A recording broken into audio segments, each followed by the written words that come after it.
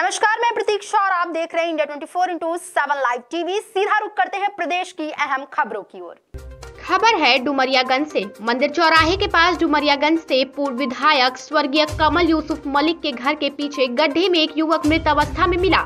युवक की मौत संदिग्ध हालत में हुई। मृतक युवक की पहचान नगर पंचायत डुमरियागंज के वार्ड नंबर 15 गांधीनगर मनीराम यादव के रूप में हुई। सूचना मिलने पर मौके पर पहुँची डुमरियागंज पुलिस ने शव को कब्जे में ले लिया और आगे की कार्रवाई में जुट गई सूचना मिलने पर मौके पर परिजन भी पहुँच गए। मृतक की माँ ने बताया कि मेरा बेटा कल घर पर ही था। खाना खा के चाय पीने के लिए कहकर घर से निकला था और हमको सूचना मिली कि आपका बेटा यहाँ पड़ा मिला है। मेरे बेटे को मारा गया है। वहीं इस मामले को लेकर सीओ डुमरियागंज अखिलेश वर्मा ने बताया कि डेड बॉडी की पंचनामा कर पोस्टमार्टम हेतु भेज दिया गया है। पुलिस आगे की कार्रवाई में जुट गई है। India twenty four into seven live TV के लिए डुमरियागंज से सुचित वर्मा की रिपोर्ट। क्या नाम है आपका? कहाँ के रहने वाले हो आप? क्या मामला था पूरा? गड़ाई में मिला है साहब कैसे सूचना मिली आपका? कैसे मिला सब अचानक में फ़ोन लगा तो फ़ोन लगा कि हमारा लड़का ये मारा है में मारा है सब भागा भागा गया सब कब निकला था घर से लड़का आपका? चार बजे।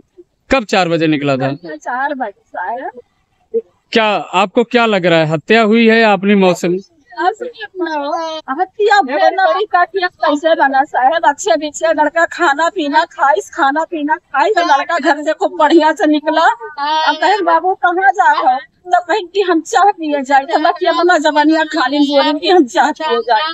क्या चाहते हैं आप? अब चाहते का साहब का चाहिए साहब अब तो हमारा लड़का है राय साहब। अब आप का चाहिए साहब?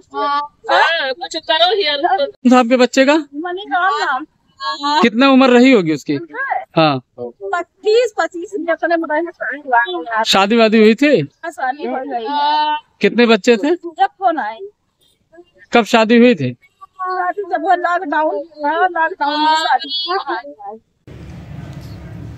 जनपद सिद्धार्थनगर के डुमरियागंज थाना अंतर्गत गांधीनगर में एक गड्ढे में एक व्यक्ति के डेड बॉडी की सूचना प्राप्त हुई। मौके पर पुलिस एवं फोरेंसिक की टीम पहुँच गई। उस व्यक्ति की शिनाख्त मनीराम यादव सन ऑफ़ मेवालाल यादव निवासी अ, गांधीनगर के रूप में हुई है। और वो व्यक्ति का डेड बॉडी का पंचायतनामा हो चुका है। पीएम है तो डेड बॉडी को मर्चरी के लिए रवाना कर दिया गया।